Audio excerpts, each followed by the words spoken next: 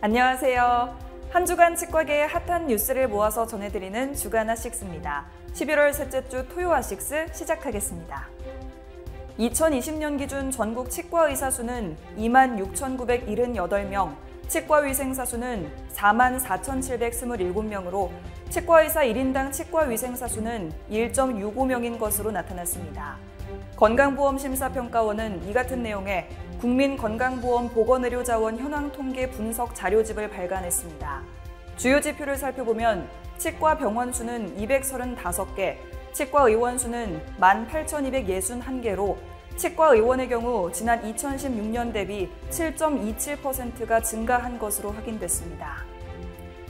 중소규모의 치과 구인난이 극심한 가운데 모든 치과 의료기관이 종사인력 구인에 소모하는 기간은 공고 후 2개월 이상이 가장 많은 것으로 나타났습니다.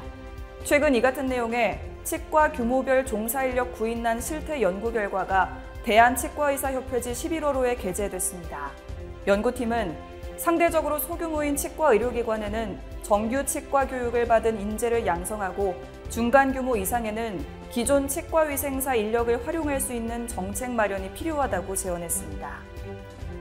비급여 수가 강제 공개 저지 투쟁 본부가 취업은 비급여 강제 공개 수용을 철회하고 회원 보호에 적극 나서라며 성명서를 발표했습니다. 투쟁본부는 의원급 비급여 수가가 온라인상에 공개됐지만 현재 500여 개 치과의원이 자료 제출에 응하지 않고 있는 상황이라고 말했습니다. 이어 행정당국은 미제출 기관에 과태료 부과 예고 고지를 통보하는 등 압박에 나섰는데 취업은 아무런 입장도 내놓지 못하고 있다고 강조했습니다. 취업의협 약사회 등 보건의학 3개 단체가 정부 여당은 원격의료 확대 계획을 즉각 철회하고 비대면 진료 플랫폼 허용을 중단하라고 촉구했습니다. 3개 단체는 성명서를 통해 여당 국회의원들이 연이어 발의한 비대면 진료 합법화에 대해 깊은 유감을 표하며 강력히 규탄한다고 밝혔습니다. 이어 국민의 건강권과 직결되는 대면 진료 대체, 복약지도 무력화 등을 초래해 보건의료 체계의 근본적인 본질을 바꾸고 큰 혼란을 일으킬 가능성이 높다고 설명했습니다. 취업선거관리위원회가 내년 4월 정기 대의원 총회 상정을 목표로 선거관리 규정 개정 작업에 돌입했습니다. 취업은 현재 법제위원회와 선관위에 각각 현 실정에 맞는 정관 개정과 선거관리 규정 개정 방안을 일임한 상태입니다. 선관위는 이에 따라 지난달 회의를 열고 내년 4월 정기 대의원 총회까지 선거관리 규정 개정을 위한 타임테이블을 점검하는 한편 구체적인 논의 방안 등을 협의했습니다.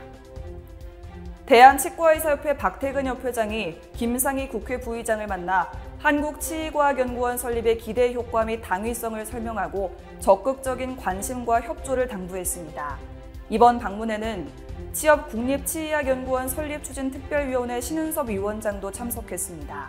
박 협회장은 한국치의과학연구원 설립에 필요한 초기 예산은 500억 원에 불과하지만 실제 아웃풋은 5천억 원에서 최대 1조 원까지 나올 수 있는 사업이라며 치과의사뿐 아니라 국가 전체가 이익을 볼 수 있는 중요한 현안이라고 강조했습니다.